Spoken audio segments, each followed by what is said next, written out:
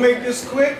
I'm part of a film crew called Film or Die. My name is G, and we're making How to Make America Great Again. So to celebrate our number 45 year mark and being the uh, Oval Office, I have a piece called He Gets It. so now I'm woke, wide-eyed like Chris on the couch and get out.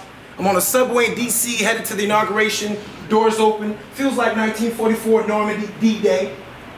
Funny how we left number 44 for 45, like the Mexicans homie say, I way. I hopped off the L and I'm making my way downtown, walking fast, blew my gas and I'm sky high. La, la, la, and I get to this guy named Brent from Green Bay, or at least I think he is because of the jacket. And Brent is standing by a cardboard cutout of Donald Trump. And he asked if I'm a supporter. And I took my white pass, I mean my MAGA hat. Uh, we do know what a, okay, so we know what a hood pass is. Just because I'm black, I can't go to Compton in a black neighborhood and just think I can go there, right? So the equivalent of a hood pass is this hat right here, and it's my white pass. Right?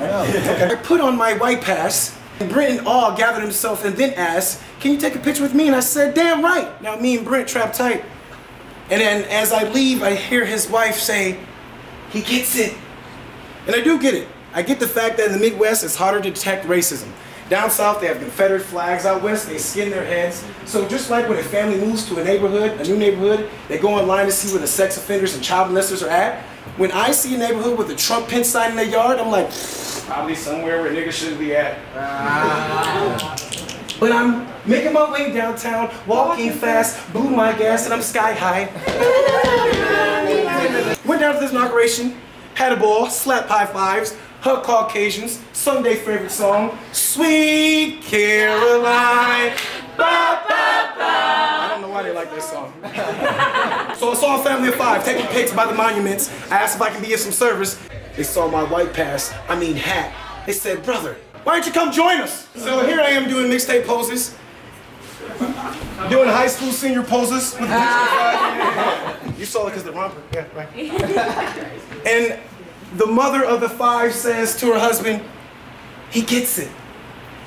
And I do. People of color, us blacks, people under the Dreamer Act, when they see this hat, they see a skyscraper. When all your life you was told sky's the limit. You want to travel the world, they want to see you pivot. Basketball terminology. But I'm making my way downtown, walking fast, blew my gas, and I'm high now. We at the subway platform, destination last stop. I'm surrounded by white folks, from overalls to ascots. So I decided to see where they turn up was at.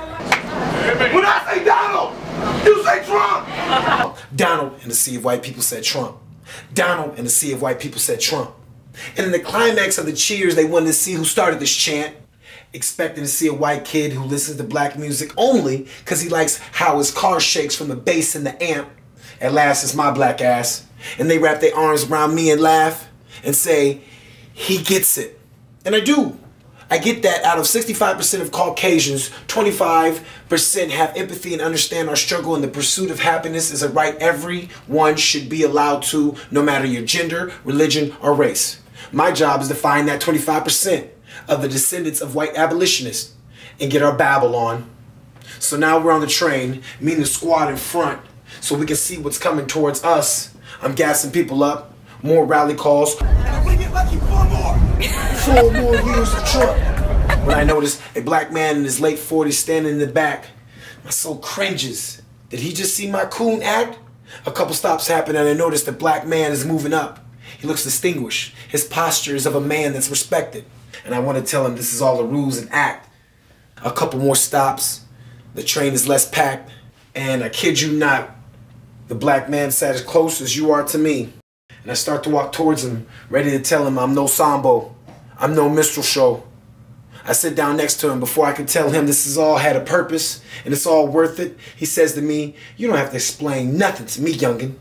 I was in the military for 15 plus years. I know about shucking and jiving to see a greater later. And with tears in my eyes, I said, He gets it. Thank y'all. I appreciate that.